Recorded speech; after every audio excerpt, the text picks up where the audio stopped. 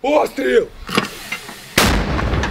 This volunteer battalion has been fighting in Ukraine since late February. About half of the members came from other countries. І взагалі проблем ніяких немає. Нас об'єднує е, ненависть до ворога. It all started with one Ukrainian man who they now call commander. Не дуже розумію, що я тут маю робити. Я не є кадровий професійний військовий, але маю певні організаційні здібності. І Поїхав в цьому напрямку. Біля мене почали гуртуватися люди спочатку. Now, about 700 volunteer fighters are spread across the country. Я нарахував до 20 е, представників різних національностей, потім вже збився рахувати. Тобто е, із Європи, із Америки, із Азії у нас дуже широкий спектр. Не всіх ми беремо. They call themselves the Karpatsky Sich, after a mountain range that stretches from the Czech Republic to Romania. Chtěl jsem pomoct a nelíbilo se mi, co se tady děje, jak se The leaders asked us to keep the exact location they were when we met them a secret for their safety. But the group was staying near Kharkiv in a village surrounded by Russian forces. Most people have fled, but the battalion has been doing what it can to help the few who stayed. Tady už nemají co jíst, nemají vodu a my jsme jim dali jídlo a oni byli strašně vděční a bylo to i na tom vidět. No. Martin is one of 10 Czechs who joined this group recently. The battalion is not part of the Ukrainian military, but most volunteers say they do have at least some military experience. Dozens still want to join, but finding people who know how to use specific weapons has been a challenge. They took us to their current base, inside an abandoned school. Soldiers patrol the building and set up sniper lookouts every day. They sleep in this underground bomb shelter. Mate, who also came from the Czech Republic, gave us a tour. He's just 18, one of the youngest members of the battalion.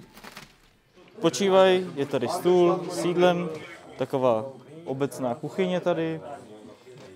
A pozorujeme tady eh, Rusy eh, přes kamery a drony a potom navádíme dělostřelectvo na jejich ničení. Tak tady, kde eh, spí všichni ostatní, taková valná hromada tady. Protože tady není moc místa, tak musí takhle spát pohromadě.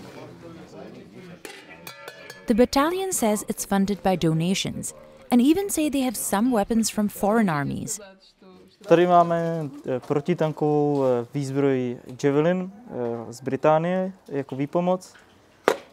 Vypadá to, že se na ně práší, ale to tady jenom střílí. My je používáme a úspěšně. These weapons match the kind the UK gave Ukraine, but the British Army told us they donated directly to the armed forces of Ukraine, not to independent battalions.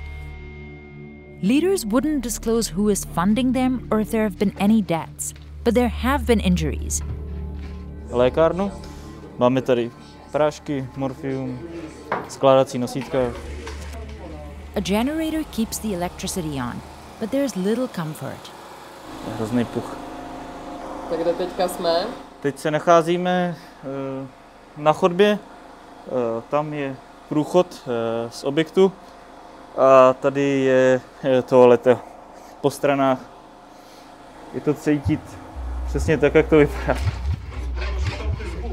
Still, many here say the battalion has made them feel like they're a part of something bigger.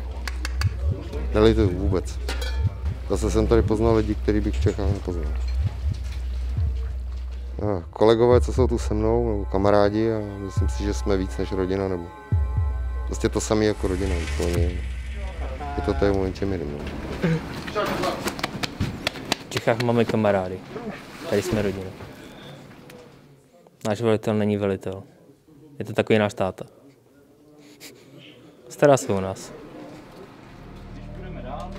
Life here is scary and uncertain. Attacks can come at any moment. Většinou po nás tady střílejí tanky, minomety, grady. Vlastně všechno, co mají, tak tady po nás sypou. But it can also be tedious. Volného času je tady dost.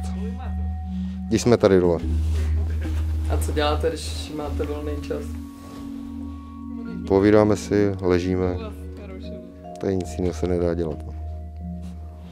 Takže válka je i nuda, jo? Jestli tak se to dá říct. Martin wanted to come to Ukraine as soon as Russia invaded. But it was illegal for Czech citizens to join the armed forces of another country until the Prime Minister promised not to prosecute anyone who went to Ukraine. Leaders from other countries like the UK and Lithuania have also made clear that volunteers will not be punished for fighting in the war. And the Ukrainian government claims that tens of thousands of foreign fighters from around the world have joined an official group of foreign volunteers, President Zelensky's International Legion. Some members of the group we met, the Karpatsky Sich, tried to join the official legion at first, but didn't make the cut. V Legii, jelikož neumím jazyky, tak mi řekli, že se mám vrátit domů. But they say one sentiment keeps them together.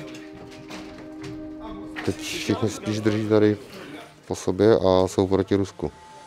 От е, в кожна та нація, представники нації, які приїжджали, вони розуміють, що якщо ми зараз в Україні не зупинимо цього агресора, ця агресія по Those words are echoed across the battalion.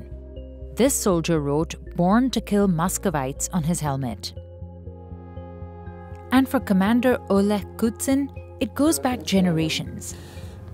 до росіян в мене, е, крім почуття ненависті, нема більше ніяких. От. Це вся нація, яка тисячолітню історію от, нам нависала над нами, нищила мою будь-які наші державні утворення, нищила мою націю. І це було 100 років назад, і 200, і 300, і 500. Е, Поки вона буде існувати, до тих пір буде е, існувати загроза моїй державі. Поки буде Російська імперія, до тих пір буде загроза моїй державі. The commander hopes the battalion will officially join Ukraine's armed forces. He says his group has collaborated with them and is talking about possibilities, but we couldn't confirm these claims. І зараз на сьогоднішній день йде процес легалізації нашого вже як окремого батальйону Карпатська Січ е, у складі сухопутних військ України. Ну, Якщо коротко, десь таке. от. We reached out to the Ministry of Defense of Ukraine but didn't hear back. Regardless of the battalion's status with the army, many members told us there's no turning back. Jak dlouho tady chceš zůstat? E, Do konce války. Minimálně. У полоні печалі. Бачу Для мене гасло Україна понад усе, от я такий українських націоналістів, є такий девіз. Україна понад усе. І воно для мене реально. Понад сім'ю, понад роботу, понад гроші. Тобто ми вистоїмо і розвалимо цю останню в світі е, імперію зла. От, або вони нас переможуть і перепинить існування е, українська держава. свого милого шукати. Летіла рочо